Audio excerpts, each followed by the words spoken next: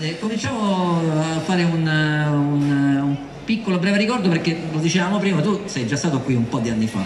Tanti anni fa, tanti anni fa, eh, facevo credo Bim Bum Bam, tanti anni fa. Esatto. E sono stato la prima volta qui e poi non sono più tornato per una serie di impegni tra lavoro, figli, eccetera, eccetera. E rieccomi qua. Ho portato il sole. Esatto. E oh. Allora, eh, cominciamo. Senti, tu un po' di tempo fa avevi raccontato di come nella tua vita hai avuto una, mm, eh, un'adolescenza, un'infanzia, insomma, di leggerezza e spensieratezza, e spensieratezza, che in qualche modo ma anche con un codice morale abbastanza no? eh, importante. Tutto questo poi te lo sei portato appresso e sei riuscito in qualche modo a proiettarlo in quello che è stato poi il tuo percorso televisivo, artistico, eccetera, eccetera. Quel valore lì, quel riferimento lì, quanto è importante?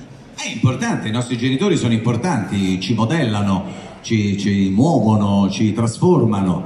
Seguiamo il loro esempio e prendiamo da loro tutto quello che di buono ci possono offrire. I miei eh, sono stati e sono ancora, mamma è ancora, è ancora viva, ha 92 anni e papà non c'è più, ma sono sempre stati molto allegri nelle gioie e nei dolori. Eh, diciamo che avevamo questa sentina dell'ironia che ci, faceva, che ci faceva star sempre bene, indipendentemente da come andassero le cose.